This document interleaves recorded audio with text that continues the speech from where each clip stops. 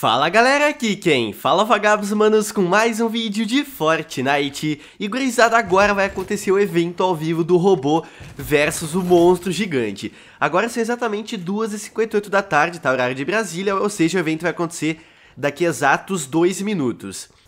Se não acontecer o evento ao vivo dessa vez, eu vou ficar muito indignado, gurizada. A última vez o evento bugou na minha partida. Se bugar agora de novo Eu vou ficar indignado Tá, já são 3 horas. Não, é 2h59 ainda. Meu amigo, esse minuto não passa. Como assim? Este minuto não passa. Vamos ver, vamos ver. Eita, começou, começou. Nossa, olha o monstro lá. Caralho.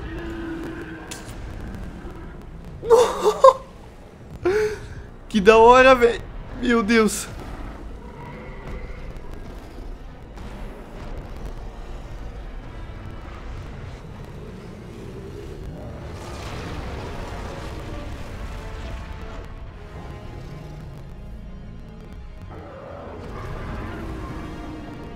Meu amigo.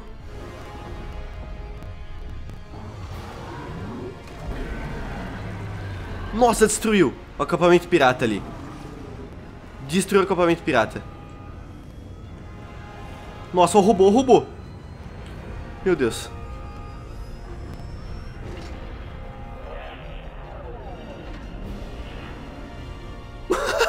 Mano, não. Que evento é esse, cara? Que evento é esse?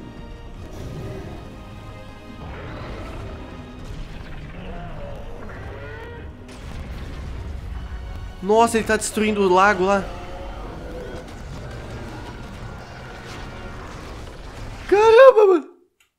PC travou. Nossa, travou o som.